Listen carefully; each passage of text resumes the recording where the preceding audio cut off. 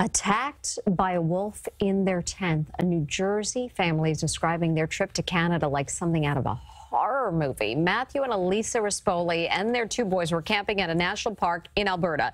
They say it was August 9th. They woke up to a wolf tearing through their tent. They spoke to Inside Edition about the moment the animal clamped down on Matthew's arm. I tried punching it twice with my left hand, and I was trying to hit it closer to the neck. It felt completely useless. I grabbed his, his ankle or his calf And I didn't even felt feel him it. get pulled, and I pulled. well, I was just holding on for dear life.